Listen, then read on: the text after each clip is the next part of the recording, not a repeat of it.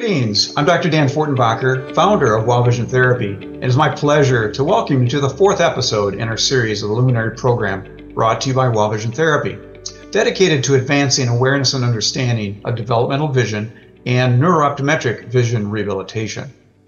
In this episode, we'll be presenting on the topic of amblyopia effectively treating lazy eye at any age.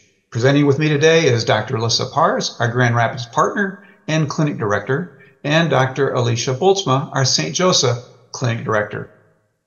So the topic amblyopia has many layers to it, doesn't it? The common term lazy eye is something that most people have heard of and either have experienced it themselves, the difficulty living with this condition, or know somebody who has had this and have had to wear an eye patch. So this is an interesting topic from a lot of layers. One is the patients who've experienced this and the other is looking at advancements in the treatment that go way beyond eye patching. Another interesting aspect is the outdated notion that treatment only works up to age 10. So we're going to begin this episode with a brief overview of the condition, followed by our discussion and patient case examples. But before we get started, doctors, what are your thoughts on the topic of amblyopia? Thanks, Dr. Dan. Um, I definitely think amblyopia is a topic that is very, very interesting and something that there's a lot more to it than, you know, what I think on the surface people think, which is just eyesight. And there's so many other aspects to it that we address, you know, depth perception, eye teaming, focusing system, visual processing, and all of those other components, you know, are really equally important in treating the whole case. So I think really understanding all the aspects that can be affected when you have amblyopia is really important. Very good. Yeah, everything that you said there, Dr. Alyssa, that there's more to it than just the acuity, but I also think it's important um, to make sure that we are finding these kids and even the adults so that letting them know there is effective treatment beyond just improving how they see, but in their quality of life and different aspects as well that they don't even know they're missing. Yeah, very good point. So, with that being said, how about we get started? So, I'm going to share my screen right now, and I'm just going to give an overview here and get the ball rolling. So amblyopia, effective treatment for lazy eye at any age.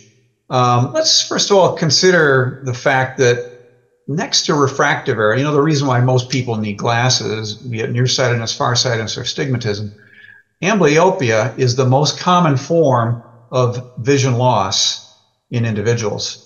As a matter of fact, the prevalence of this is 2 to 4% of the population or approximately 1 in 30 individuals. So that means it's about 7.5 to 14.4 million individuals in just the United States alone. So let's break it down.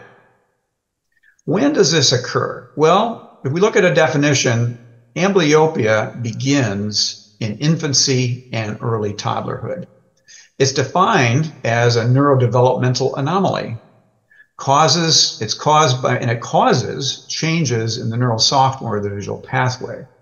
So we don't come into this world with good eyesight, normal visual function. It's something that's developed. So that's what's meant as a neurodevelopmental anomaly.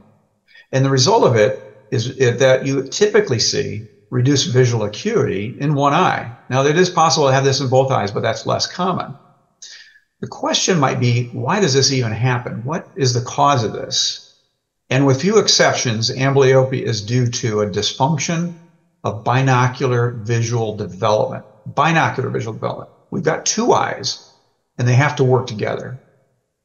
So most commonly, the causes of this are a crossing or eye wandering, known as strabismus. It's an eye teaming failure, binocular teaming failure or an unequal refractive error. And the technical term for that is anisometropia, unequal refractive status. And it can also be a combination of the two.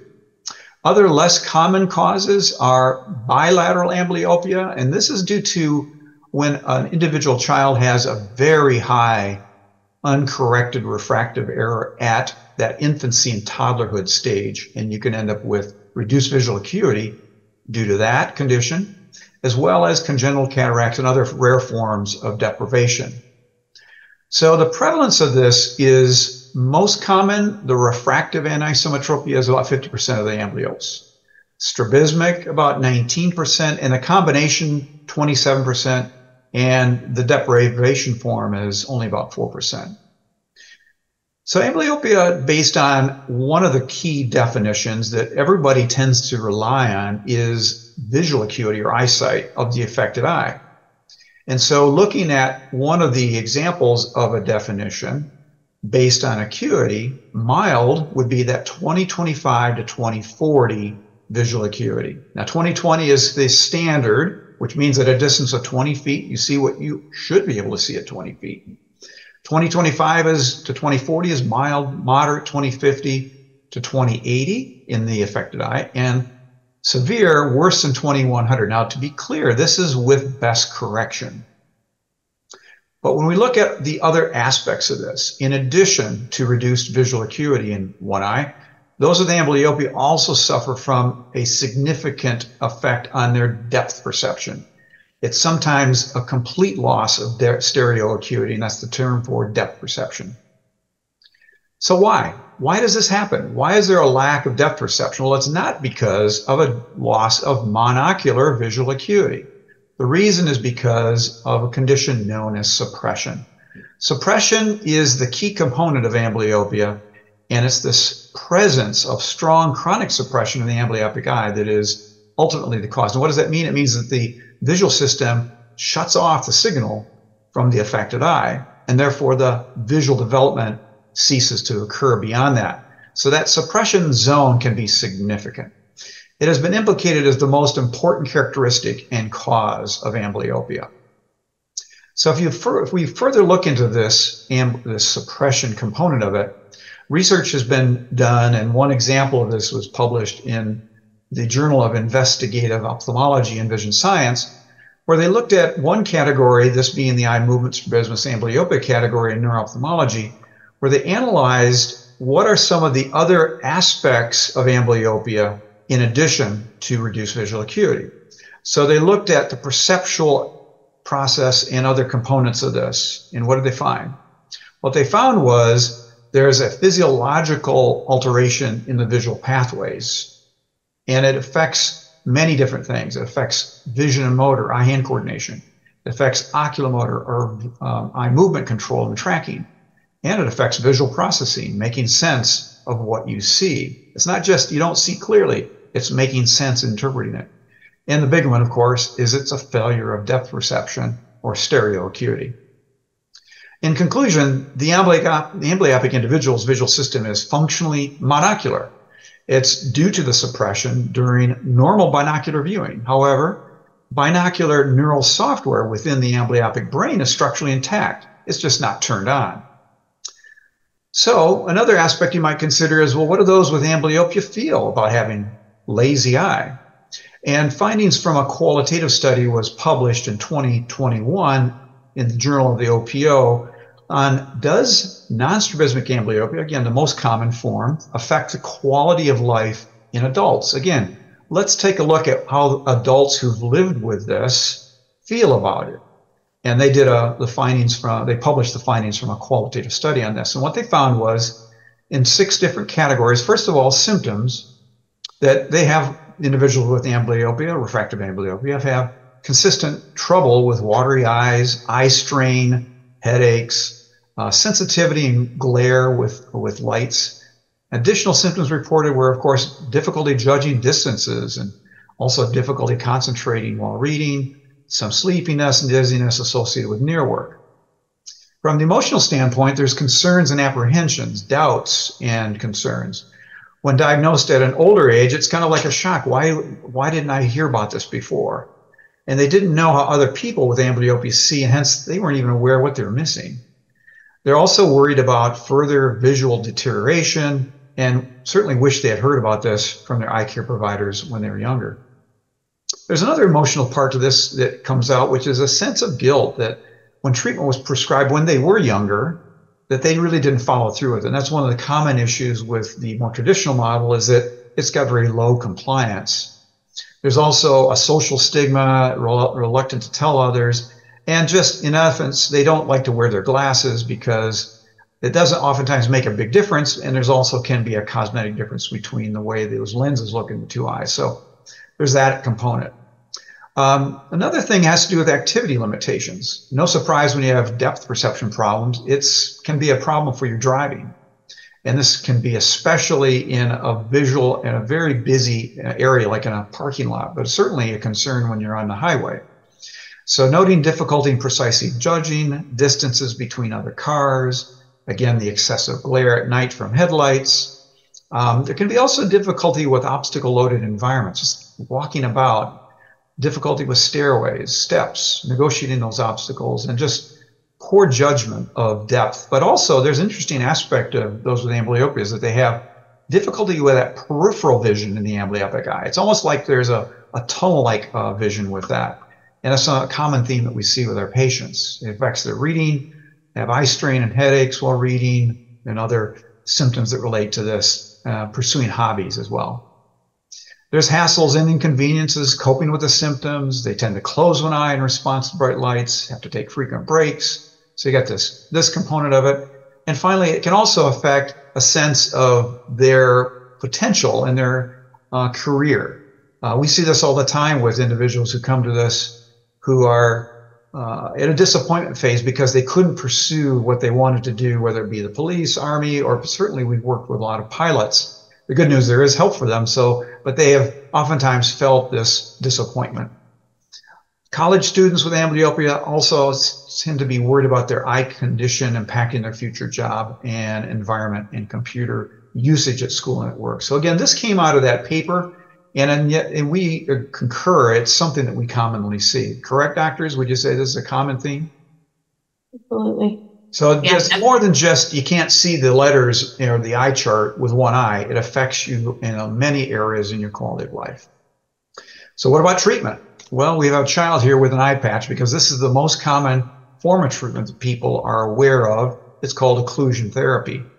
So the basic treatment paradigm in children under age 10 is prescribe glasses for the full correction, wait a couple months, see if it helped, and then if it persists, which it typically does, begin occlusion or patching. And this occlusion therapy dosing can be full time, all their waking hours, or part time, and then monitor it uh, as, as, it, as the patient goes along. The methods are most commonly direct occlusion, which is just wearing an eye patch, and there's some examples of young children there variety of eye patch examples. There's also a technique called partial occlusion, where the patient can have an optical defocus, where the lens in the uh, fellow eye, the good eye, is made blurry so that the amblyopic eye has to force to see in itself while the other eye has got a blurry lens. Another example of that is called graded occlusion, where it's intentional kind of translucent occlusion, translucent foil. And then the last one, which is also a very common one, is called medicated occlusion or pharmacological occlusion, where a, a drop called atropine is used on the fellow eye, and the good eye, which basically paralyzes the focusing system, focusing uh, component of that eye. It dilates the pupil and also makes it so that the individual can't focus through it. So it kind of forces them to be patched because there's no escaping that, but also has side effects to it as well. The limitations to patching are acuity, while it does improve somewhat, typically regresses when the patching is discontinued. And again, this is based on the research. Recognized another limitation is that it doesn't do anything for the suppression. The patient still is stereo deficient. By patching an eye, doesn't spontaneously turn on both eyes. In, in essence, you're reinforcing that. Other factors that go along with this are the um, psychosocial aspects. When a child is wearing a patch, they tend to be bullied, teased. Uh, they have frustration and anger. Uh, general, just they're unhappy about it. It affects them in a lot of ways. It's certainly playing sports or riding a bike uh, uh, and other things. So difficulty in function. And, and it's not a good idea to send a child with this into the classroom for obvious reasons, but sometimes we've come across cases where that has occurred. So why? Why is occlusion the prescribed treatment plan when it has relatively poor outcomes, compliance is poor, and there's a significant fact risk factors for side effects. Is there a better approach? And of course, since amblyopia begins with binocular dysfunction, binocular vision dysfunction, yes, effective treatment begins with correcting the cause. And that's what we're going to be talking about here. Is binocular vision, including stereoacuity, can be developed and at any age. So it's not age dependent. The critical period, of course, is true. There is a period of time where this develops, which is that, oh, typically uh, infancy up to maybe as far as six years, six to eight years of age is a critical period. But is there a critical period for vision rehabilitation? And of course, the answer is no. Pretty much anybody at any age can develop these abilities if they have the ability to interact in treatment. So that's what we're going to be talking about here. And it's based on research as well. So we have uh, two of the most notable uh, scientists and uh, clinicians in this area, Dr. Robert Hess and Dr. Dennis Levi, who've studied researching the plasticity in the adult human brain. Uh, Dr. Hess is quite a notable researcher. He's actually published 433 papers. I just looked this up last night. He's every year he's putting something out there. It's amazing how much uh, he's done in terms of this category. And so what he's determined is, in his research, that binocular function can be restored in adults with amblyopia. So this is telling us that binocular visual system also retains a considerable degree of plasticity. So plasticity even in adulthood. And Dr. Levi's uh, research, and there was a, a very impressive Prentice Award lecture he delivered in 2011, talking about removing the brakes on plasticity in the amblyopic brain, he found that in both, even animals and humans, there's sufficient evidence to show that there's neuroplasticity beyond this initial critical period. Again, for the treatment side of it.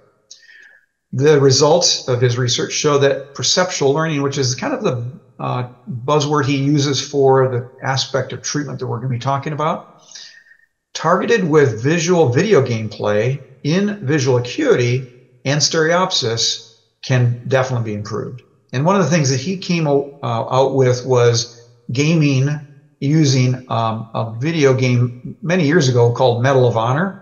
But that's transitioned now to what we are using the more modern advancements in video game play in vision therapy is virtual reality in vision therapy. As a matter of fact, Dr. Parz and I, as well as Dr. Tuan Tran and Dr. Brian Dornbos, published a chapter in Advances in Ophthalmology in 2011 with the topic of vision therapy and virtual reality applications. So if you would like to check out more information on that, that is available to uh, obtain.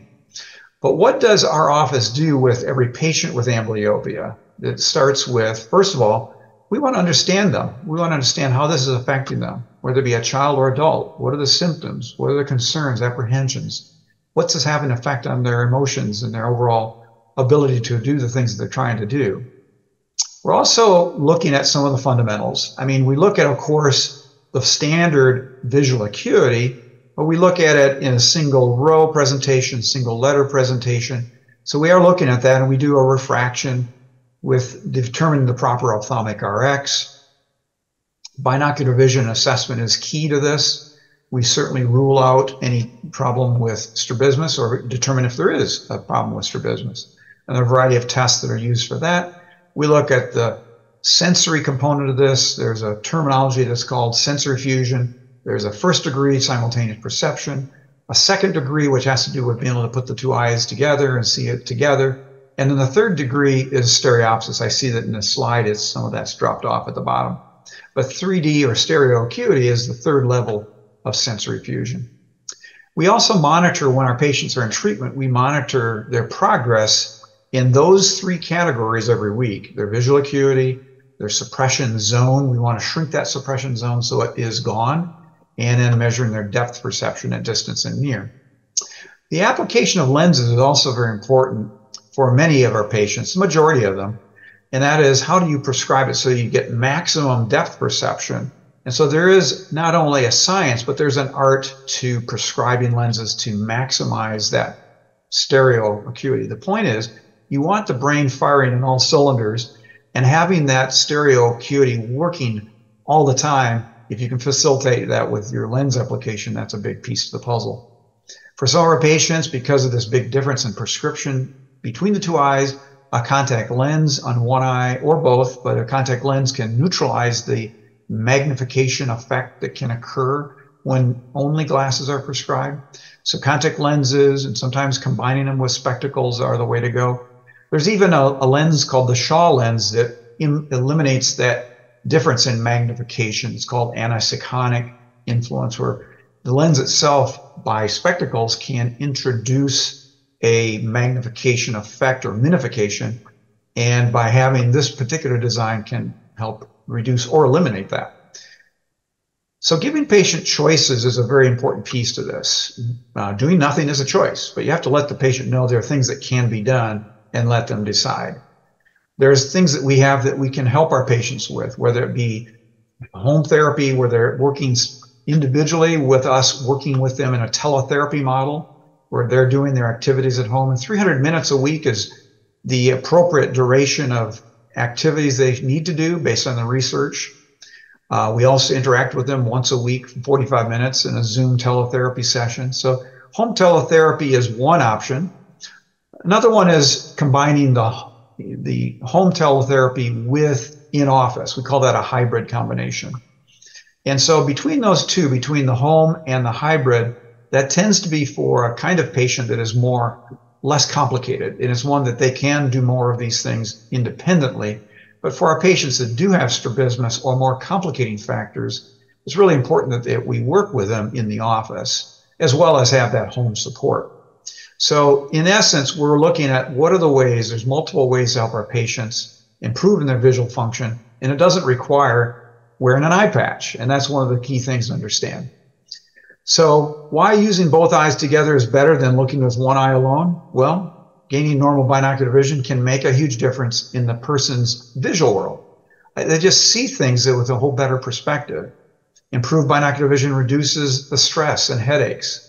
We see patients feel like they can read faster and easier. They are doing better, and we're monitoring that. And it also improves their eye hand coordination for driving, sports, and other day to day activities. So, really, when you look at the process that we're working on, we're working on developing binocular vision so that they attain not only visual processing, eye movement control, eye hand coordination, but that depth perception. That's really the glue that maintains that visual acuity. As the visual acuity improves, even in adult patients, it stays that way when both eyes are working together with normal depth perception. So, in essence, better binocular vision provides a better quality of life. So, with that being said, let's let's talk about some patient examples. Um, Dr. Uh, Alicia, why don't you start us off? Yeah, so uh, thank you for all that great information, Dr. Dan. That was helpful, and it ties into the first patient that I want to talk about. As you were going through your list, I was like, yep, yep, yep, and corresponded with everything this patient was feeling. So we had a 37 year old, and she was a general surgeon. She saw her primary care eye doctor and decided she was ready to do something about her decreased vision and by the way, she was also a strab, so that adds into the complexity of her case. So she was a 25 left XT at both distance and near, but also had the refractive component with her amblyopia. So her right eye was plano, and her left eye was a plus 375 with 125 still. So she's and, a combo, is what you're saying. She had both yeah. the strabismus, the eye turning out, and the aniso, the refractive component. Yeah, so yeah. her acuity when she came in was 2070, which puts her in that moderate category of amblyopia. Mm-hmm. And thankfully, her provider was one who does Shaw lenses. So she actually came to us in a Shaw lens, which was really helpful um, because that allowed us to kind of jump right into the treatment aspect of things. Um, she had zero depth perception, as you can imagine, with both that strabismus component as well as the amblyopia. And on a Worth 4 dot, she was suppressing at greater than four feet. Um, and beyond, beyond that, she had some intermittent diplopia and all sorts of things going on, um, creating some of that factors. So with this patient, we decided that in office was going to be best because of that factor of the strabismus with the refractive component. Um, and so we worked with her for about 50 sessions, I believe. And um, some of the things came slowly for her as we were going along, but some of the cool things were little things that she noticed in her day to day life. So, as a surgeon, she mentioned as we were going through treatment that, oh, yeah, I used to have a lot of trouble threading my needle when I had to do stitches. Mm. And now that's not a problem. So, there's that depth perception component that she was missing all along. She also mentioned that she would often miss if somebody would hand her a tool on her left side, her amblyopic side. She didn't know exactly where it was and couldn't see it. But as we were treating that and reducing that suppression, we opened up that periphery on her left the side. Periphery opens up then. Yeah, she said I had no no problem. I didn't have to yell at anybody for handing me tools on my left side anymore. Um, so she had some really great results as we finished therapy with her. Um, and her VA actually improved to 2040. So we didn't get the perfect 2020 acuity, but the improvements that she noticed, she said, I feel like I'm seeing so much clearer. The depth is there, which we saw in evidence that near she had 40 seconds of depth. And at distance, she kind of varied a little bit between um, getting 100% and 75% of that stereo. So a little bit of um, waffliness on our testing, but in her real life, she was so happy with all the improvements that she had made. And she was really glad that even as an adult, 37 years old, to find something that could really help her in her day to day life and the things that she didn't even necessarily know she was struggling with until she realized the change that it could make with the improvement in her stereo and her acuity. And I'm, I'm sure her patients would appreciate the fact that she now has depth perception when she's doing her procedures. So, absolutely. Of course, nobody knew that, of course, but at the same time, she felt that confidence in working with her patients too.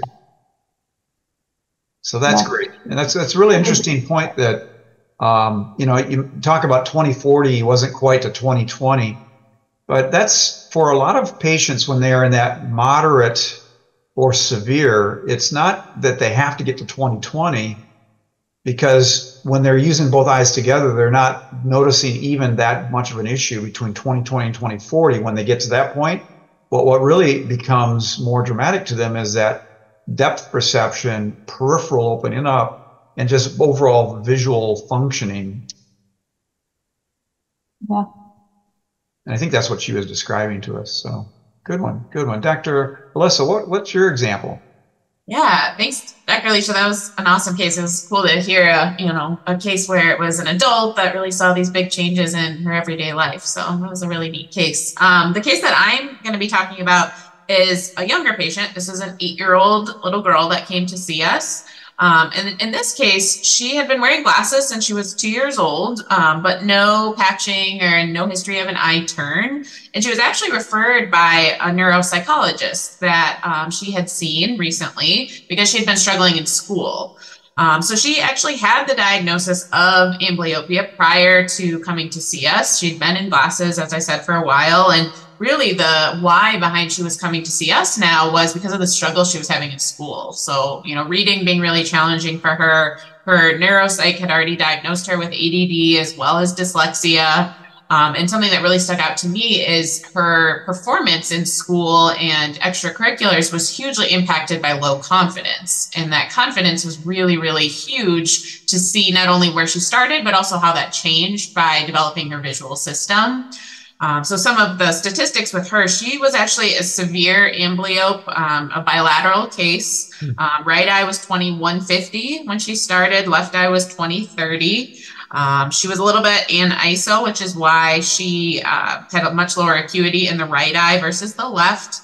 Um, a pretty high astigmatism in both eyes. And then she also had um, convergence insufficiency, her near point of convergence was 12 inches, where she saw double, and 14 inches to recover there. She had no distant stereopsis, a little bit at near, about 400 seconds, and suppressed her right eye beyond four feet. Um, so definitely a little bit complex in the things that we wanted to work on, but even bigger impact were the changes we saw in her visual processing skills. So she was eight years old and pretty much across the board was scoring at a less than four year old age equivalent on all of our areas of visual processing. So her memory skills, her discrimination, her reversals and tracking were all very, very low when she started with us.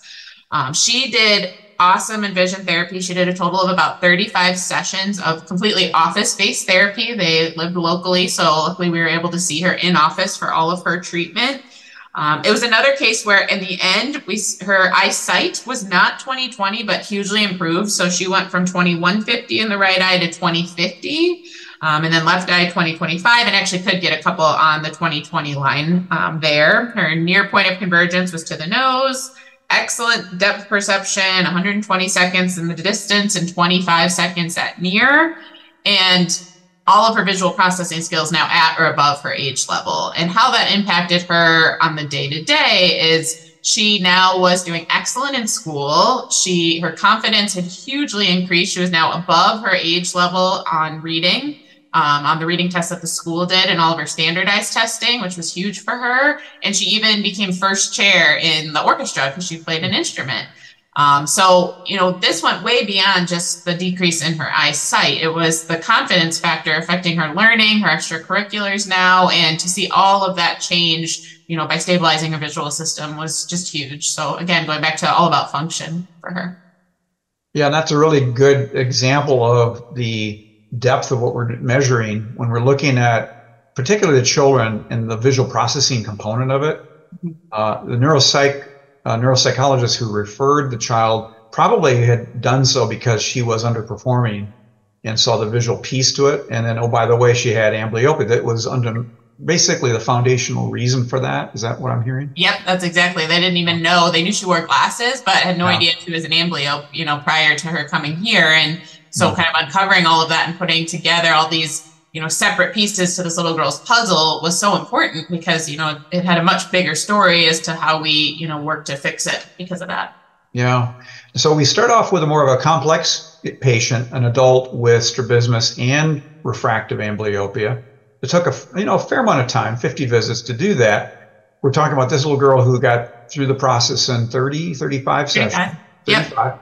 let's talk about more of our, our basic patients. Uh, dr uh, Alicia, tell give us an example of maybe somebody who's more of a straightforward, could be a uh, combination of hybrid or uh, teletherapy.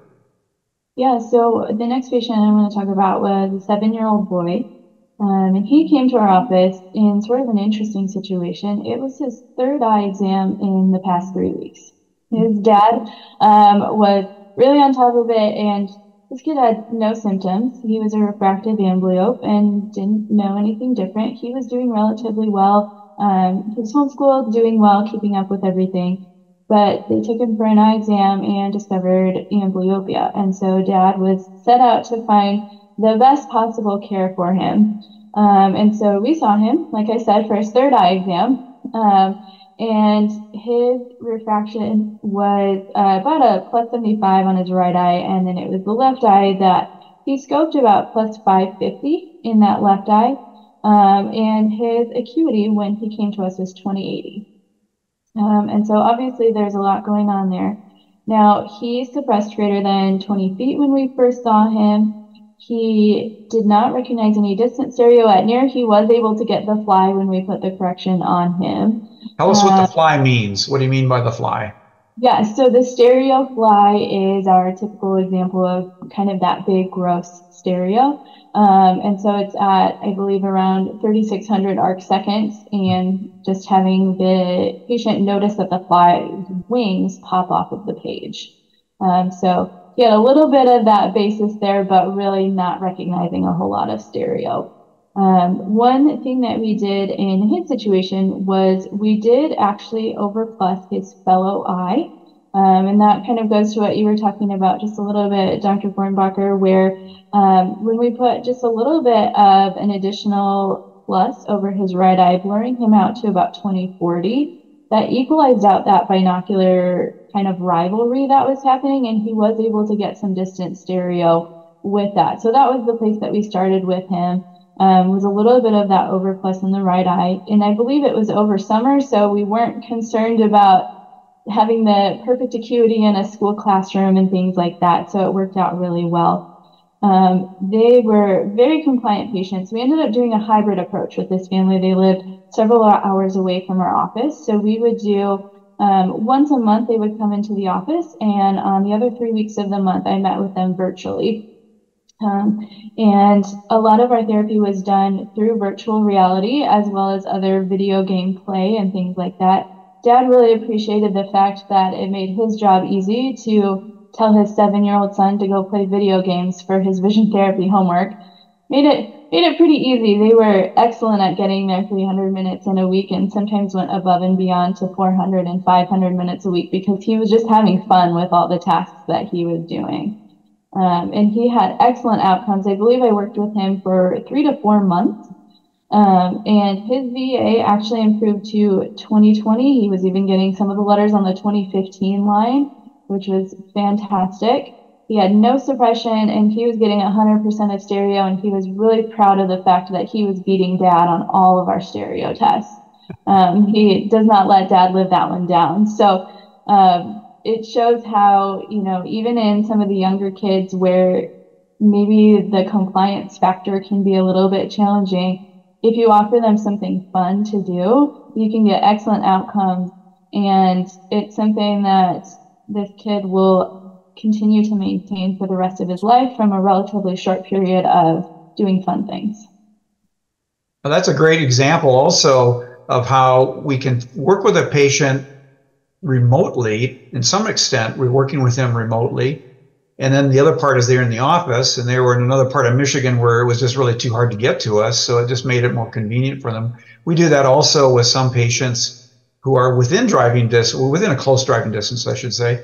But it's just, you know, based on a lot of things going on in their lives, it just sometimes it's easier to work with us in this format. So we basically have evolved into treatment modalities that allow our patients to get the care and get the results and tailor it to their needs. I think that's one of the things that is a, uh, an important aspect of working with our patients in general, but especially with this, this population that uh, involves also video gameplay. One of the things that mentioned with the, the VR that we're doing uh, is that they're connected to us. We're using the Vivid Vision uh, virtual reality platform, Vivid Vision, and so basically, all the patient needs to have is uh, now, used to say Oculus. This is actually an older model of, but it's Meta Quest. And so they have the headset, and then all they need is Wi-Fi, and they can connect to our platform, and we can actually interact with them and control the activities.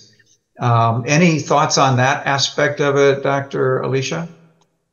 Yeah, I think it's it's fun and exciting, um, especially in these patients where they maybe have never seen in true depth before. You put them in a video game where things are popping out at them and they're reaching and grabbing. It's fun to watch their excitement as they do these things. And I always tell the parents, your kid is having a lot of fun. They don't even realize how hard they're working. Um, and it, it, like I said, it really makes the job easy for the therapist as well as the parents to say, go do your vision therapy homework, go play some virtual reality games. Yeah, and that's true for our adults too. I mean, a lot of times I talk to parents or my adult patients, I should say, and that's vision therapy needs to be interesting no matter how old you are, whether you're 60 years old or six years old. Uh, it can't be boring. And that's one of the problems that there's been with treatment for amblyopia in a, in a sense of even beyond patching where different applications have been tried. If it's um, boring, it's gonna it's gonna be hard to comply, and that's where there's a certain amount of time they do have to dedicate to it. But if you keep it interesting, that really helps compliance. Well, very good. Um, any other thoughts before we wrap it up? I think the only thing I thought of um, just in our cases and things is also to keep in mind, especially the refractive amblyopes, you know, these patients don't know what they're missing out on. So, you know, like Dr. Alicia said, sometimes they come in with, you know, very low symptom profiles because how do they know what they're missing out on? They've never seen in 3D. They don't know what that should even be like. They've just learned, you know, how to accommodate and work extra, extra hard to do that. So it's just something to keep in mind. You may not hear symptoms right off the bat, but to be able to educate these patients, you know, even in primary care optometry and other, you know, specialty areas that, you know, let's identify this and then there are things that we can do to just make things easier so you don't have to work so hard. Excellent point. Well, I think that's a good way to finish it. I would say thank you very much, Dr. Parz, Dr. Bultsma, for being a part of this fourth episode of Luminary Program. And for you, the viewer, thank you very, very much for watching. Have a great day.